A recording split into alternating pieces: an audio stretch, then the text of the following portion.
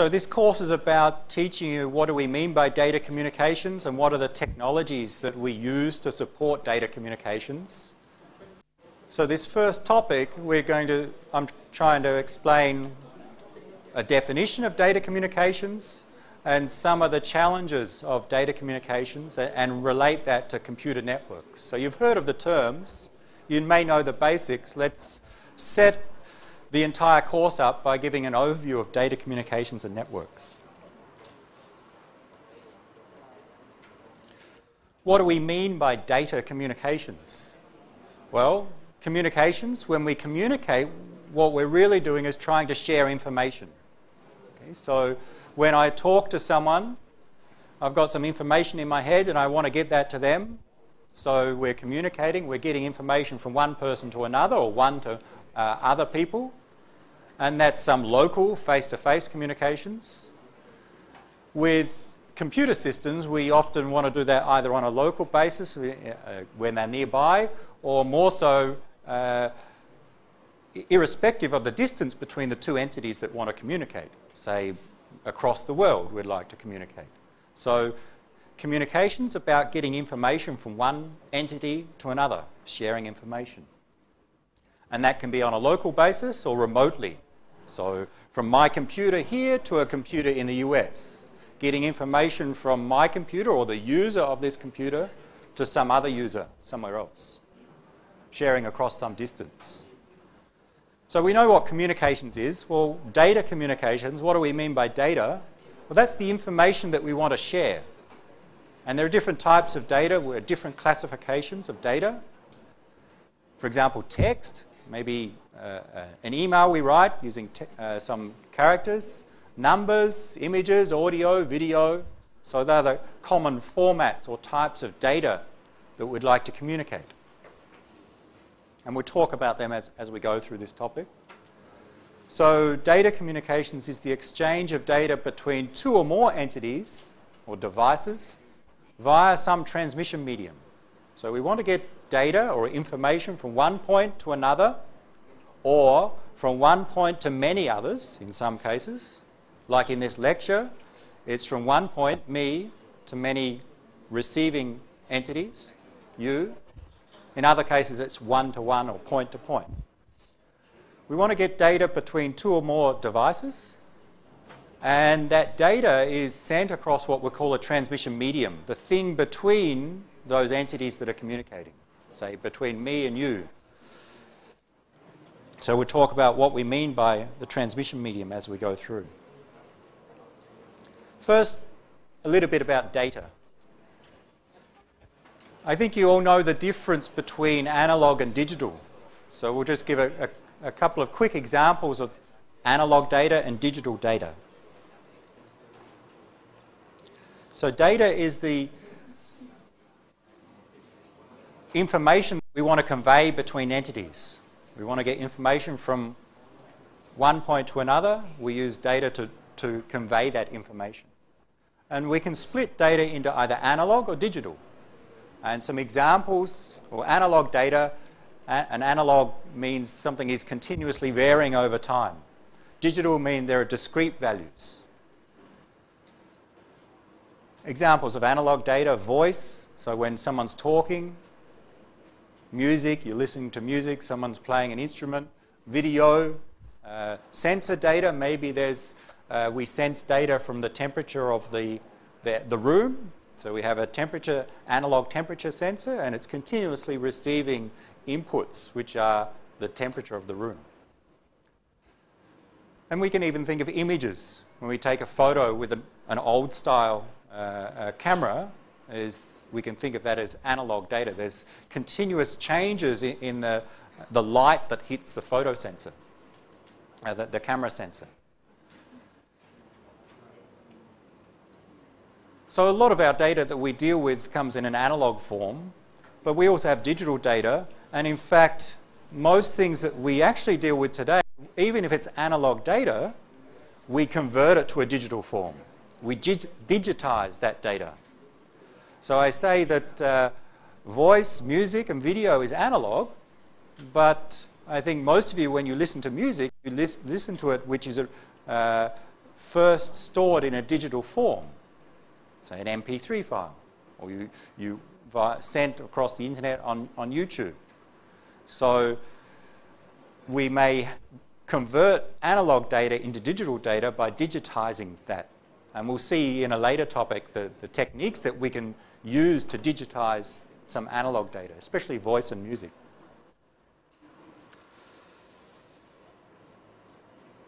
A couple of brief examples. First, of analog data, audio. So when someone's talking or your music, if we think of that as analog data, audio or music we think of as, or voice or music, we uh, think of when someone creates a sound, that sound can, can be represented in terms of what frequency is of the, the sound or the, the audio and what's the strength. That is, when we talk, we, people talk at different frequencies. We change the frequency of the, of the audio coming out of our mouth and we also change the strength. Sometimes I talk quieter, and sometimes I talk louder. Okay, so that's changing the strength. What this plot tries to show, and you don't need to know the details, it shows for some different examples the range of frequencies of those examples down the bottom and the strength. So, listed as power here. Focus first on the solid green line which is labeled speech. So when someone's talking, this is uh, the typical range of frequencies that someone produces when they talk, and the strength for those particular frequencies.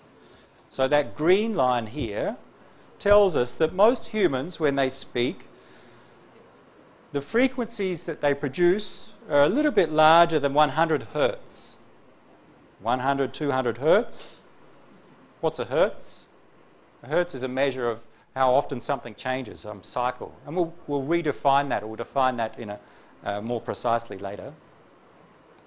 And also frequency. And ranges up to about 10 kilohertz, 10,000 hertz. So the audio that comes out of your mouth uh, has different frequencies, ranging from about 100 hertz up to 10 kilohertz. But for those lower frequencies of 100 hertz, in fact, the strength is quite weak. That is, we don't usually make large or uh, loud sounds at those low frequencies or at those high frequencies. Usually it's in this area. This is when the strength of our uh, signal, our voice, is the highest. The dashed green line is the similar data but for music. So if you think of a, uh, and measure different types of music. Approximately, they range from the frequency in terms of tens of hertz up to maybe 20 or even 30 kilohertz. Music has a higher range of frequencies than our voice, and our ears can pick that up. That is, we can hear the very high frequencies, maybe when an orchestra is playing, you can hear the very high frequencies, which you would not hear if someone's talking. And in fact, some of the very low frequencies of, of music are, are not used when we speak. So, speech and music are examples of analog data. This plot shows us some other things that we're going to see through the course, maybe two that you'll recognize. When we transmit speech or music through a radio system, you listen to AM or FM radio, then those are communication systems, AM and FM radio, and they allow you to transmit a range of frequencies. And this dashed line here shows us the approximate upper limit of the range of frequencies that AM radio can transmit. What this is saying is that when you're listening to AM radio, and someone's talking, AM radio can transmit frequencies up to around here, 8 kilohertz, getting close to 10 kilohertz. It can transmit almost all the frequencies of human speech. So when someone's talking on the radio, it sounds quite clear. You don't lose much quality of the, of the, the speech. But music has a wider range of frequencies. There's much higher frequencies than when someone speaks. And AM radio can only transmit frequencies up to a little bit less than 10 kilohertz, but music goes up to more than 10 kilohertz, maybe 20 kilohertz. So when you transmit music, you try and listen to a song across AM radio, the quality may not be so good because the high frequencies of that music do not get to be transmitted through the AM radio. FM radio is designed to support a larger range of frequencies, approximately up to what music includes. So FM radio can carry all the frequencies of speech plus most of them of music. That's why music sounds better on FM than AM. Okay, so the details of why this, uh, why the AM and FM are designed like this and, and the frequencies and so on, we're going to discuss through several topics in this course. So you don't need to know all that yet. But I think you know one thing, music sounds better on FM than on AM. And we're going to study why that's the case, what the frequencies are, and, and the, the, the width of those range of frequencies. So an example of analog data, audio,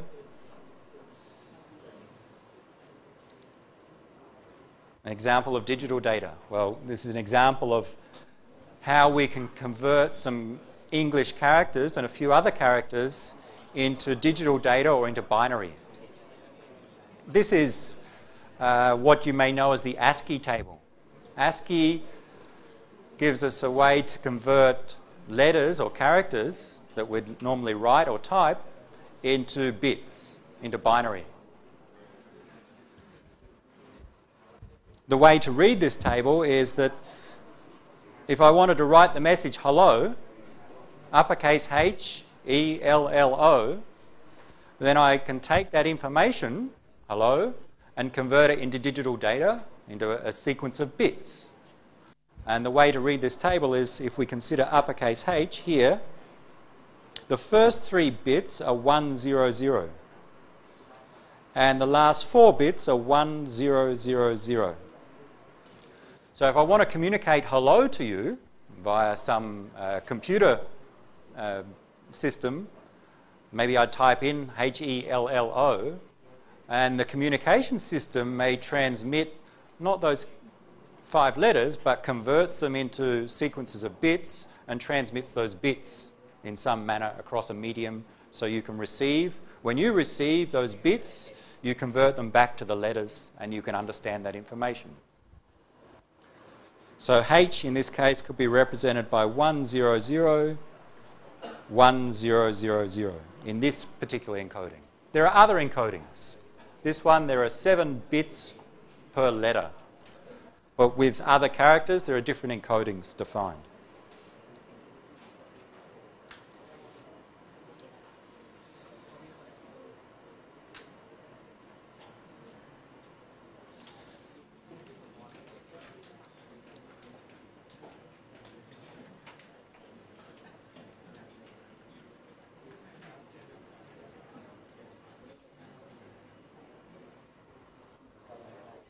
Anyone want to, get, want to, anyone want to guess what that says? You can use your table, although that's slightly different than the table. In the table, there's seven bits per character. In this example, I've made it easier by separating. There are eight bits per character, but in fact, the first bit is just zero. So ignore the first bit of each of these, what, six the hint is there are six characters, and you can use your table in front of you to convert it back to, to English. C, S, CSS 331. Okay, once you get the first couple of characters, you can guess. How do you get that? Look at those seven bits. First three bits, 100. Last four, 0011. 100, 100, first three bits, 0011, C, uppercase C. Okay? And then you can proceed for the others. So there's a slight difference. In this table, we use 7 bits per character, but in my example, and much more common on computer systems for, for ASCII encoding, we use 8 bits per character. We can have other encodings, but 8 bits per character is very common. So the first bit was actually a 0. So it becomes CSS. You note those two sequence of 8 bits are the same. They're both S's. 3, 3, 1.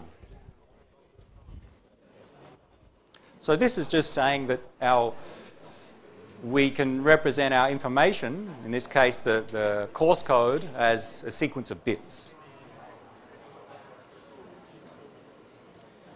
And in most of the systems that we will look at, what we'll do is we'll take our information, we'll convert it to a sequence of bits, and transmit those bits across some transmission medium.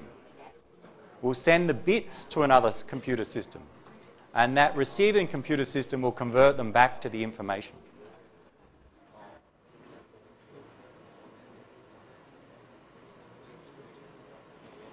So now let's look at what do we mean by communication systems.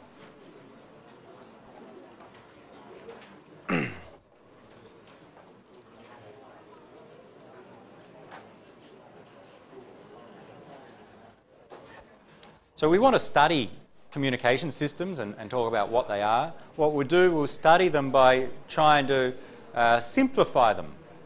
There are many different types of communication systems, and they are very complex. Okay? So, what we want to do to understand them is to view them from a simplistic view at the start. So, here's a model of a communication system that we'll use to, to, to simplify our understanding. We can talk about, we, in this example model, we want to get information from one entity to another. And we'll name them the source system, they create the information, and the destination system, who we want to get the information to. So that information could be uh, anything that we want to uh, communicate. So we start, we say, with some input information. So maybe some message I want to get to some other person. This source system has two different components. The source takes the input information and converts it into data. A simple example may be the information I want to get to someone is my name, Steven Gordon. I know it's in my head, I want to tell someone else. If I was using a computer, what I could do is convert Steven Gordon into a sequence of bits using, say, the encoding that we just saw and send those sequence of bits to the other person. So that's an example here of the information is my name, the source may convert that into a, uh, a format of data that is appropriate for communicating across this communication system. So we say the source starts with information and creates data. The next component is the transmitter. The role of the transmitter is to take that data and to convert it into what we call signals that can be sent to the destination. So the transmitter, so if you think the source system is, say, some computing device, the transmitter takes that data and converts it into a form where we can send across what we call a transmission system or transmission medium. And what we send is we don't send a sequence of bits, we send signals, electromagnetic signals, for example. So when I'm talking, I'm uh, producing signals coming out of my mouth, some audio signals. We can think of those signals, some very varying signal strength. Uh, when my computer transmits using Wi Fi up to the access point on the wall, it's transmitting a radio signal. And that radio signal, going from my computer to the access point, is carrying some data. And that data is conveying some information. So if I want to send a message to someone, one form of that communication is my computer converts that into data, say a sequence of bits. Then the Wi Fi card or chip in my computer converts that data into signals which are transmitted out of the antenna and received by the antennas up there. So our transmitter converts data into signals. The signals propagate through what we'll generally call the transmission system. And we'll see the transmission system could be as simple as a cable, uh, a LAN cable. Okay. This may be our transmission system where we'll have one device at the end. I've got a very old LAN card. This is our transmitter. It transmits a signal, some electrical signal across the wires inside this cable, and it will be received by the computer at the other endpoint. So we can think of this could be our transmission system. This is close to our transmitter, and the computer that this LAN card is plugged into, think of that computer makes up the source system and is the source. But a transmission system can be more complex than just one cable. We can view it as a collection of cables, a collection of links that we'll see shortly. But the idea of the transmission system is to get the transmitted signal to the receiver, to the destination system. If everything works well, the destination system receives a signal, and then the components there do the opposite of the source system. The receiver converts the signal back to data the destination consumes that data and has received the information. So this is our model, simplified model of any communication system. We need to spend this course looking at especially what the transmitter and receiver does. How do we convert data into signals? What are the signals? What do they look like? And what types of transmission systems do we have? I showed you an example of a LAN cable, but there are many others. So some of the examples we'll see through the course, that, that slide just explains those four components. Some of the examples we'll see are listed here. That model can be as simple as computer to computer communications. Example, I plug a LAN cable into my laptop and the other end into this PC. Two computers, we want to communicate between them. This is our, uh, we think of this as our transmission system with respect to that model. The LAN card in my laptop is the transmitter, and the LAN card in the PC may be the receiver. Another name for a LAN ca card is an Ethernet card or a network interface card, a NIC on the slide, NIC. So we have computer A, and inside computer A is a network interface card. We plug the cable in, or there, and similar in the other computer. Not many computers have these network interfaces. They are usually embedded or uh, chips on the motherboard. This is maybe 10, 15 years old. So that's a simple example where we'd say that the computer A is the source system, computer B is the destination system. Computer A, the software, is acting as the source. The LAN card or the network interface card is the transmitter. The LAN cable is the transmission system. The network interface card at computer B is the receiver in that case. Here, our transmission system is a single link. Okay, there's just one cable involved. Another example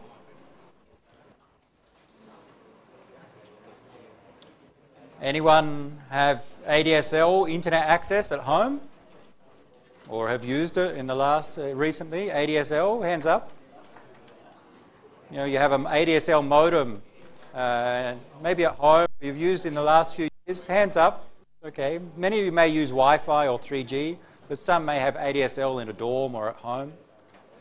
Anyone remember dial-up internet access? Anyone used it? Almost getting too young you are. But I think most people know of or may have used dial-up internet access where you had that either an external modem or a modem in your computer that made the strange noise, that, that squeaking duck noise when it connected to the other endpoint. Here's an example of that old dial-up system from a communications model perspective. It's not maybe the most realistic example, but uh, the, the, the approach was you had your computer you had a modem maybe a dial up modem. Maybe it was embedded in your computer or a separate device. And that modem had a telephone line going into it. You use your home telephone line to access the network. So we can think there's a telephone network from your home across Bangkok or across the city. And the other endpoint, you connect it to your, to your ISP, your ISP server, your internet service provider's network. So that was the destination system in that case, where your ISP had a modem and a server, and in fact, that server may even connect onto other devices, not shown here. Maybe the point of this one is that we can think of these as the source system, two separate devices. They don't have to be the one piece of hardware, they may be physically separate. And the transmission medium is not one cable, but it's an entire telephone network covering a city or a country even. So it's many cables, even wireless links. So in our model, a transmission system may be a single link or multiple links. So we, what we're doing is going through examples of, that match this model. The transmission system can be a single cable or it can be a complex telephone network. The last one, which we, we use uh, every day, we communicate across the internet. And a, a simplified view of that is you have your computer as a transmitter, and you want to talk to a web server, say in the US, which has a receiving device. Well, what we do is we transmit information, a signal, and it goes into this magic thing called the internet and it comes out the other side as received by the website or the web server some in the US.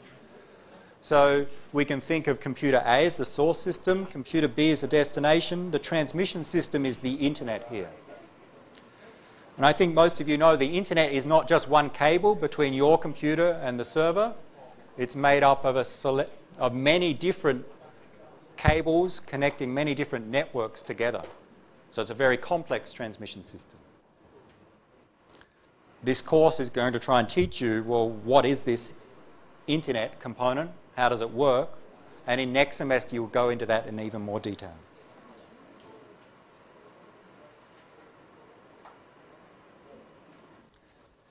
The point of the last two is that the transmission system doesn't have to be just one link, it can be multiple links. So, in general, we can draw our communication system when we use a network of links, a set of links like this.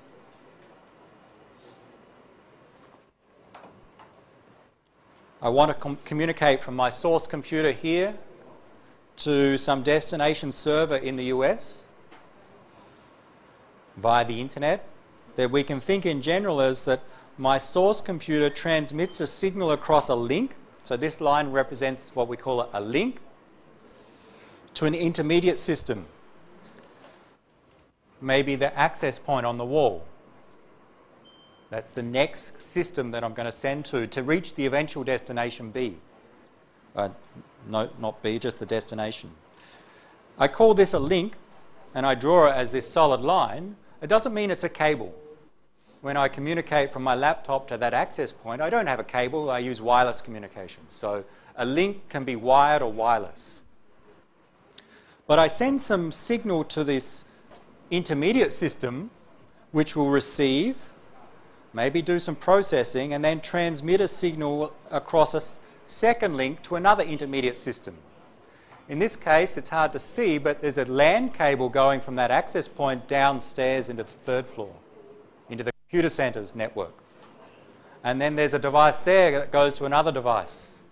And we have many intermediate systems and eventually, the server in the US maybe is linked into this nth intermediate system, which transmits the signal, it's received, it receives the data, and has the information that I want to communicate. We call this entire uh, setup a network. We have links between devices, and we create a network by using multiple links to communicate between a source and destination.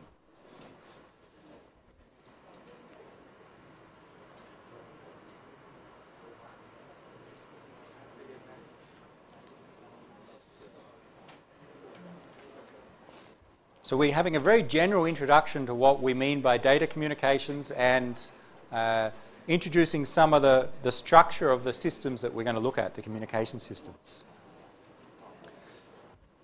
So this course is going to try and teach you, well, how do we do all of this? First, we'll focus on link communications. How do I get data from one device to another device at the other endpoint of the link? It's not easy. There are many challenges. And some of the challenges, so if we focus on a source, a destination, a single cable or link, we transmit data as a signal. The signal is received and converted back to data. Some of the challenges is how do we do that conversion? How do we convert data to signals? What do signals look like? What are the characteristics of signals? What transmission media to use. Here, the transmission media is the thing that carries the signals. It could be some copper wires. The media can be some copper wires, which is inside this cable, and we transmit an electrical signal across those copper wires. Or it could be the air, when we transmit a radio signal from my laptop to the access point. So we need to look at the different types of transmission media wireless transmission media and wired. Wired may be copper wires, optical fibers, coaxial cables, and other materials. There's a topic on that. There are different ways to convert data into signals. So we'll look at some different approaches for encoding data as signals. There are other issues like in some cases we need some mechanisms to know who's at the other end of the link, especially with wireless systems. When I transmit something, it needs to go to a particular device. But many devices may receive that transmission, so we need to identify who is supposed to get it. Unfortunately, when we deal in real life, not everything is perfect. We'll transmit a signal, but the received signal may not be identical to what was transmitted.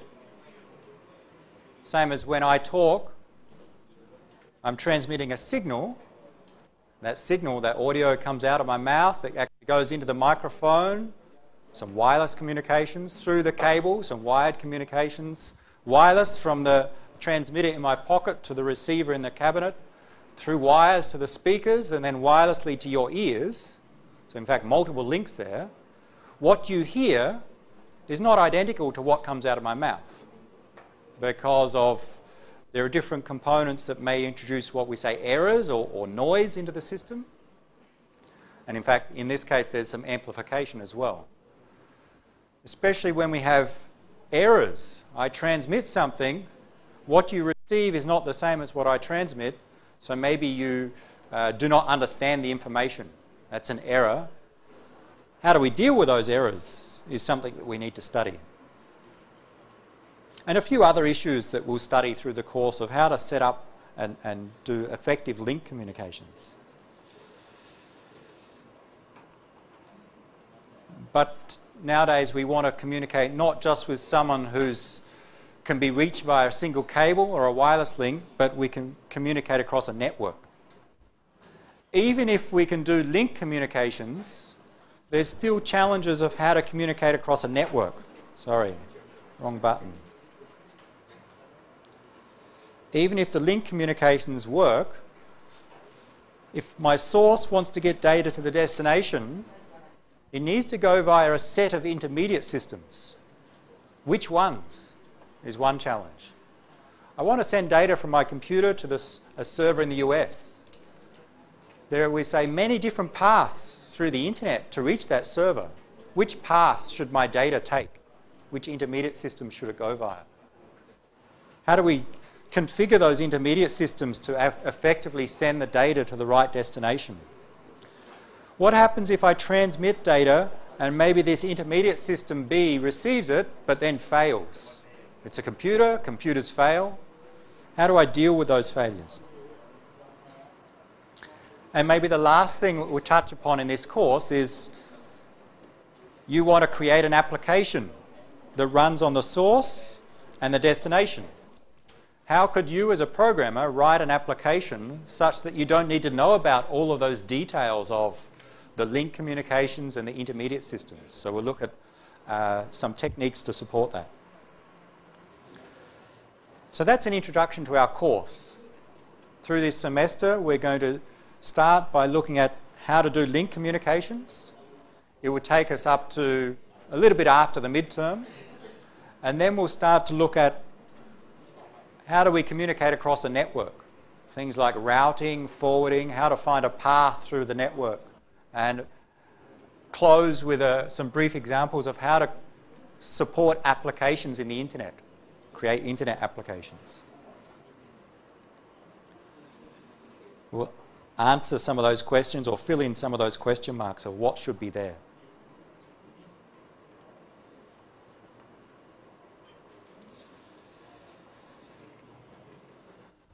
Quick introduction to data communications before we move on. We've got a, a few other examples, but any questions?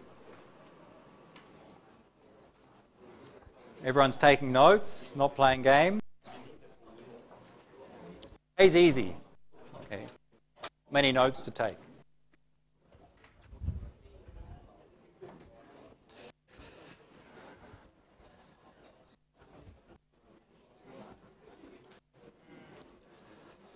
And in fact, even if you don't understand what, what is a signal, I'm sure you have questions. What is a signal? What does a transmitter do? How do we represent data? Well, that's what we're going to study in the course. The, the topics are going to uh, try to answer those questions. Today is just stating the problems and questions. Before we get into some of the details of link communications, a couple of other things. Back to information, data, and some types of applications that you're aware of.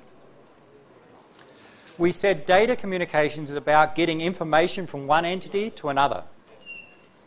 Okay. Let's look at information and look at maybe some characteristics of information that we know about. So, the information may be contained in a web page or in an email. I send an email to someone giving them some information or I watch a video. That video, that movie is some information that's coming from the, the producers of the movie and the director and the actors to me. Okay? Some entertainment, for example. One thing that we want to know about when we uh, design and analyze communication systems is how well they work, especially how well they perform. And one thing that we need to care about is well, how much information do we need to communicate?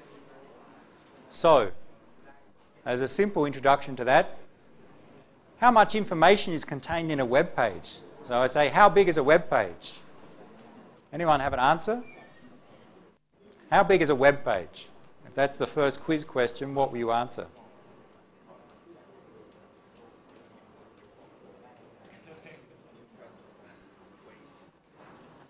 How big is the web page? In terms of what is maybe the first question, in terms of how would we measure information? Bits and bytes. Okay, first thing, how do we measure information normally? Well, in computer systems, we measure it using the units of bits. How many bits? So if I say, how big is a web page, I'm looking for an answer in a number of bits. But we can also use bytes. Remember how many bits in a byte? Eight normally. Okay? One byte is eight bits. Remember that? So we measure information in bits or bytes. So I would like to know, or we'd like to be aware, well, if I want to get information of different types from one entity to another, how much information do I need to transfer? What's a typical size of a web page? Anyone want to guess? Again? 5 to 10 megabytes some web pages, not many would be that big. I think that's too big. 5 to 10 megabytes. I think it, and we'll see an example. Web, what is a web page? Anyone created a web page before? Anyone seen one before? Okay, what are they? Well, I think you know that the, the core is some HTML usually, some text that defines what, what is shown on the page. But web pages also contain maybe some images, some, some animations, some, some uh, videos, and so on. How big is, say, here's the SIT homepage. Let's see how big it is. So I've visited the SIT homepage. Well, one thing I can do, so we see it's, and we'll see shortly, it's, the core is a HTML file. It tells us what content should be displayed on the screen. But we'll see that this web page not just contains one HTML file, it also contains images, uh, th these animations or these um, scrolling text and so on may be separate components. So I'll save that. Uh, save the page as SIT. And just note here, I'm going to save the web page incomplete. Save that and let's have a look.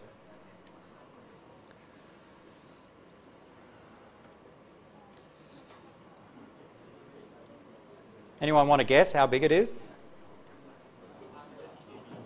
500 KB. Nice guess. There's a core HTML file. I've named it sit.html. It's 400, about 400 kilobytes, 419,249 bytes. My computer tells me when I save the file. That's how many bytes. And I can times by 8 to get the number of bits.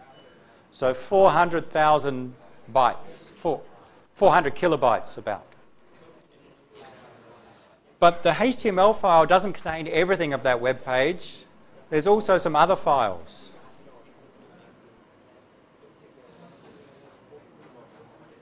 There's a lot of JPEGs, images of buttons, of, uh, GIFs of the banners and so on. So there's a lot of other supporting files style sheets, JavaScript, and so on. In total, wrong one. If you can see down the bottom, I'll show again so it's up the top. That folder of many other files is about 1.2 megabytes. So the HTML file, the HTML file is about 400 kilobytes, all the other files, 1.2 megabytes. So in total, about 1.6 megabytes. Right, 5 to 10 is a little bit too big. Is every website the same size? Web page? No. Okay, you can have smaller and larger depending upon the content. But we're talking in the order of tens of kilobytes to maybe megabytes.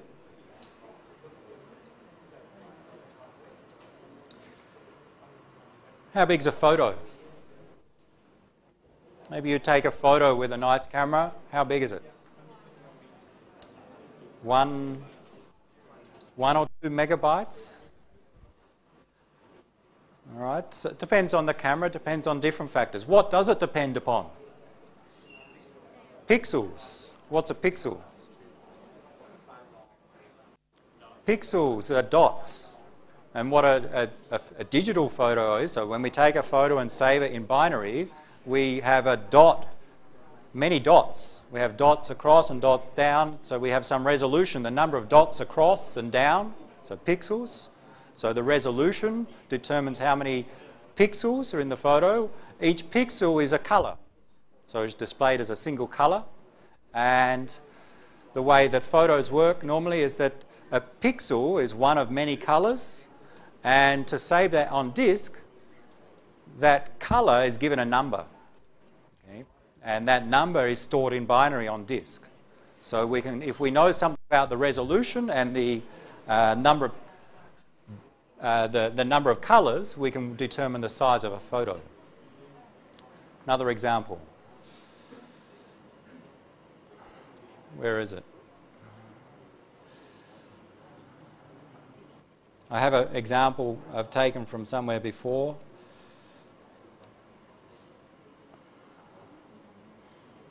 A photo of Pluto from NASA, and we'll see the details. So just a photo of Pluto. Uh,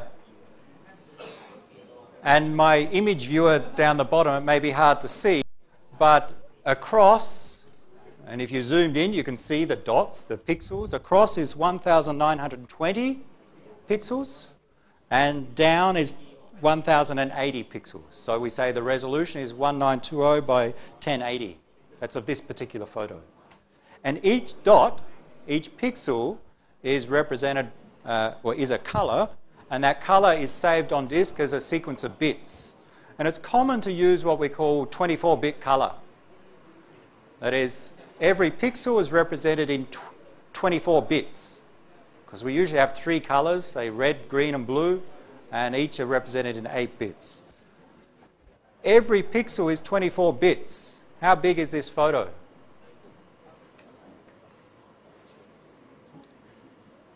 Let's calculate and then see why it's that. How many pixels are there?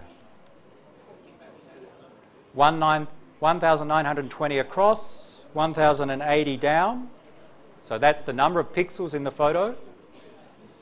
Every pixel is represented by a 24-bit number. That represents the color. And that's common with photos. It doesn't have to be very common. So that's the number of bits in this photo. We can convert bits to bytes, divide by 8. 6,220,800 bytes. 6.2 megabytes is the size of this photo. And if you see down the bottom, that my image uh, software shows 6.2 megabytes. So this photo is 6.2 megabytes. What else may determine the size of a photo that you store on disk? Compression, the algorithm that we use to encode that information. In this case, the, we calculated the number of bits and the, the file format stores them as is. There's no form of compression.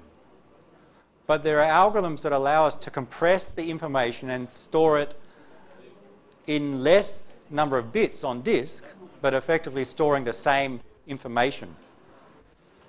This file was saved in what we call the TIFF format, and it was had no compression. So the this is the calculated files number of bits, and it's about 6.2 megabytes. There's a little bit of overhead there.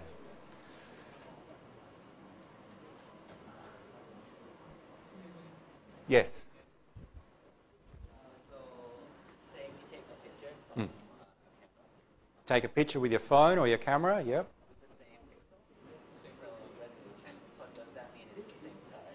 Right, you take a picture with your camera and it's the same, you set your camera settings to be this, the resolution, you can specify the resolution or it's a characteristic of your uh, camera. So in theory, when you save different photos, they'll be identical size. But you know they're not. I think when you say take different photos, you'll get different size files. That's because your camera doesn't normally save the data in its raw form like we see here, it compresses it. This format is the TIFF format for the image. This one is JPEG. You see the difference? TIFF, JPEG.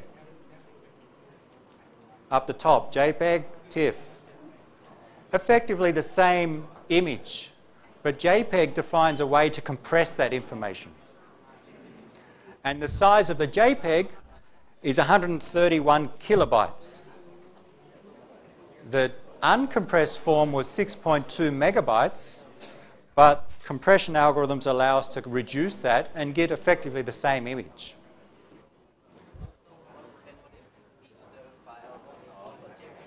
So let's say you take a second photo, the TIFF in theory would be the same size, 6.2 megabytes, but then you compress using JPEG, you may get a different size, not necessarily 131 kilobytes, because the way that most compression works on photos is that it depends upon the colors in the photos and, and what colors each neighbor pixel is.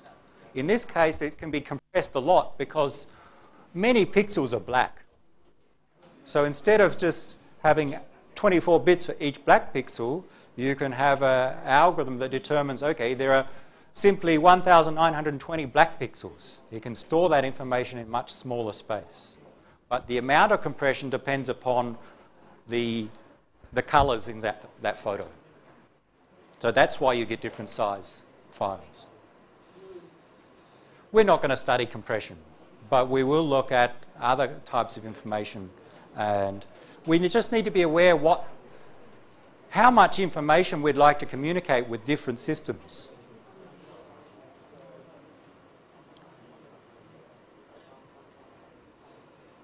One more. Song, an audio CD, we'll, we'll look at that in a later topic and look at how much music can be stored on an audio CD. How big is a TV show? You watch a one hour TV show, how big is it? Two gigabyte, one gigabyte? Again, it will depend. What will it depend upon? Resolution codec. So remember, video, like a TV show, video, when we say video, we normally mean two things the actual video and the audio. Okay, the, the audio is the, the sound, plus the, the, the, the picture. What is the picture of video? Well, it's multiple photos or multiple pictures, but changing on a frequent basis to look like motion. So a video is similar to our photo, has a resolution and a number of pixels, but that picture changes many times per second. So we also have a frame rate, for example. Last example, I think, for today, to finish off, let's look at the size of a TV show. And where will I find a TV show? Pirate Bay. Okay. Here's a TV show, and don't worry, I'm not going to download it. It gives them information about the, the TV show. Zoom in a bit. Of importance here is it tells us some information about the content, the information stored. The entire file is 4.29 gigabytes, or exactly this, this number of bytes. We'll zoom in a bit more, I think we can see. But the details of the video are important. So remember that the TV show in this case contains a video stream, so the video component, and also an audio stream, the sound. Let's just focus on the video part. And in this case, the video, there's a lot of details here. The duration is 53 minutes 38 seconds. The bit rate, which we'll use in a moment, is this 10.8 megabits per second. The resolution of the video, 1,000 1920 pixels by 1074 and the frame rate is this 23.976 frames per second, about 24 frames per second.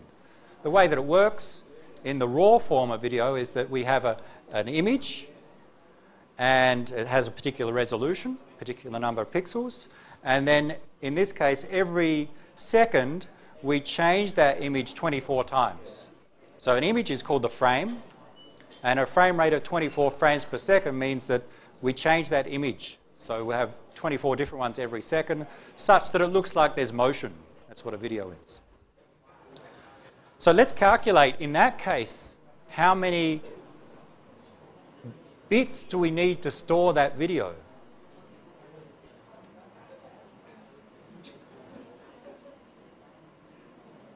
Bring up my calculator. We have 53 minutes, let's convert to seconds, okay? 53 minutes, convert to seconds,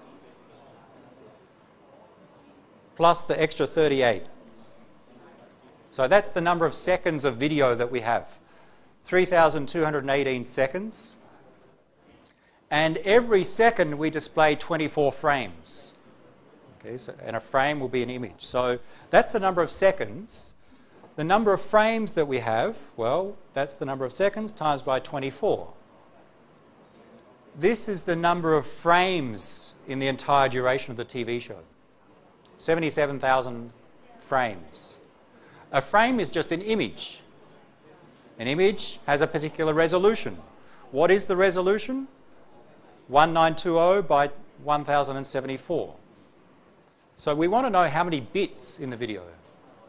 First, how many pixels? That's the number of frames. The number of pixels, 1920 times 1074.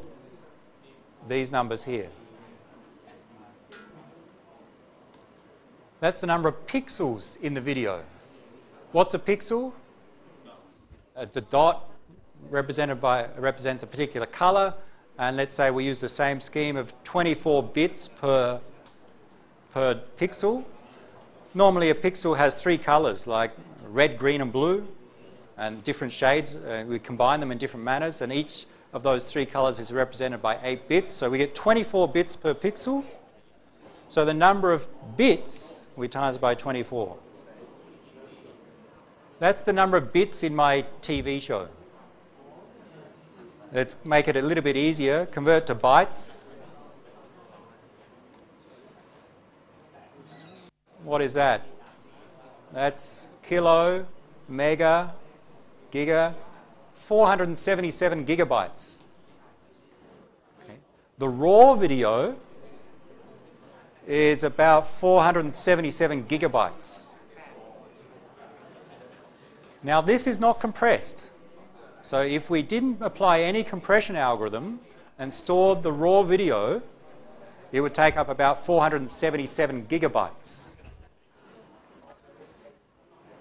I think some of you saw the file size was not 477 gigabytes. It was what? 4 point something gigabytes.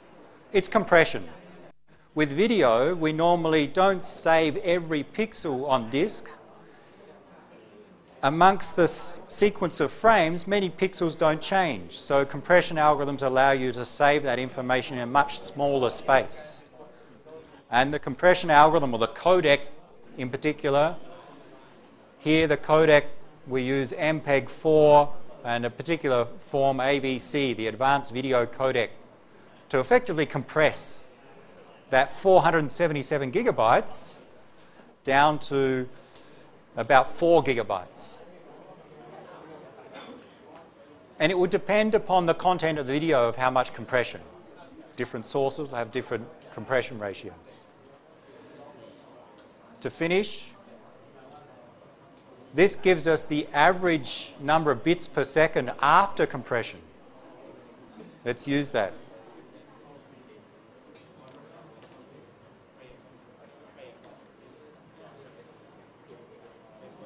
We have the number of seconds again.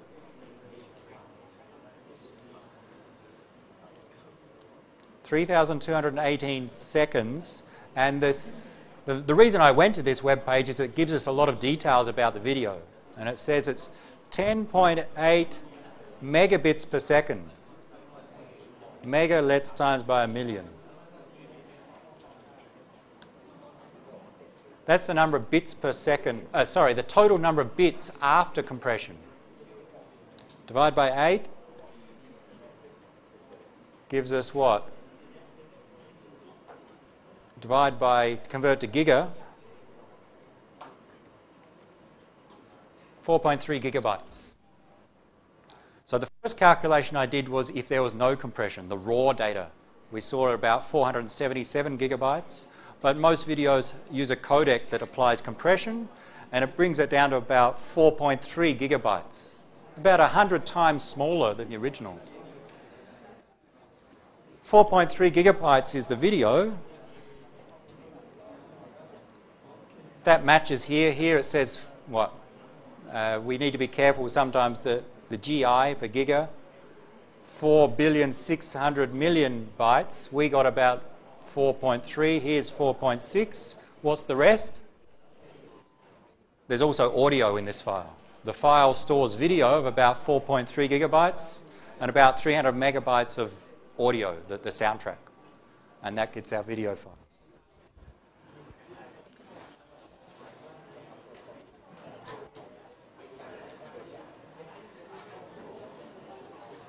The course is not about how, to, how videos work, how photos are stored, but this, these examples are about well, how much information do we need to communicate across communication systems? It depends upon what type of information. Do we need a system that supports web browsing or to support video transfer? They'll have different requirements in terms of the performance.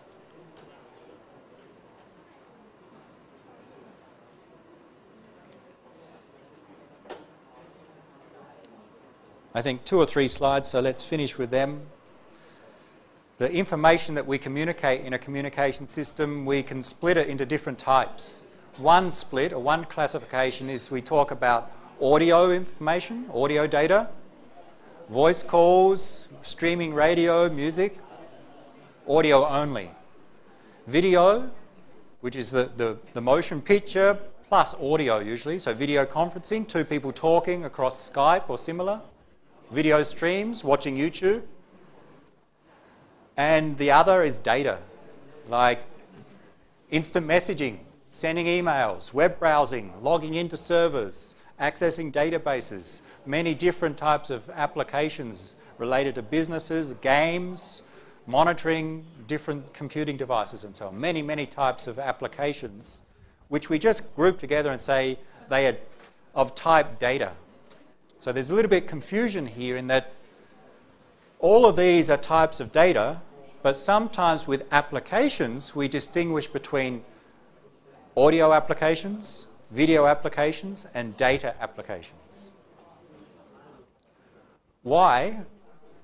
Because they often have different requirements in terms of communication systems. We saw just briefly, briefly video usually requires much more information to store and to transmit, as opposed to a web page which is much smaller. So we need to deal with that with communication systems.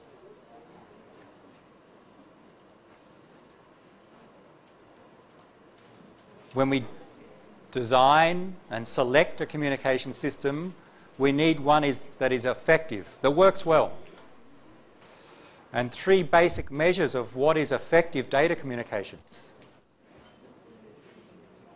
We need the data to be delivered to the correct destination.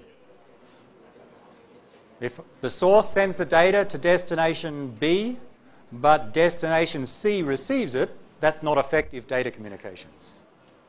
So, the example that I've used in the past, you want to send a message to some, some person and show that you really love them. Okay, so you type in an email saying, I love you, and you press send. And the internet, the communication system, delivers it to someone you don't really like. That's not effective communications because the wrong person has received your love message. Okay? So we need it, of course, to be delivered to the cor correct destination. We need accuracy. I type in my message, I love you, and I press send, and my computer sends but there are some errors in the communication system, and that person I sent it to does receive it, is delivered to the right destination, but the words have changed. And it says, I hate you. Okay? Again, ineffective data communications. The, the message received needs to be accurate. It contained the same information as what was to be transmitted. And timeliness. I send now, I love you, and it's delivered to my friend one year in the future, and she's already married. So we need the message to be delivered in a reasonable time. So timeliness is the other measure. What is reasonable time? How much accuracy depends upon the types of applications.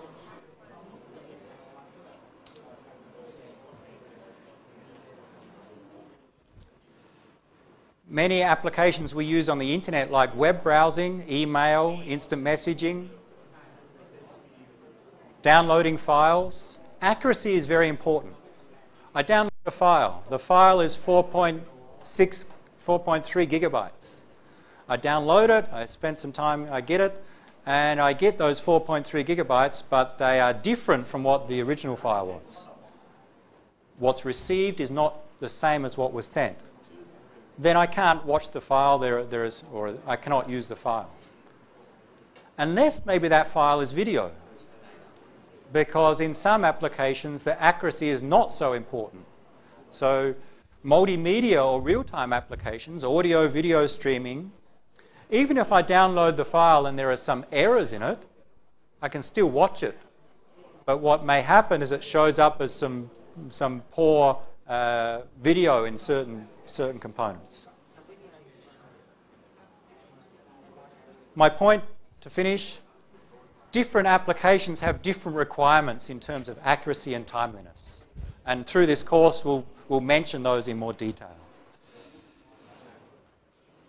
That's a good place to stop.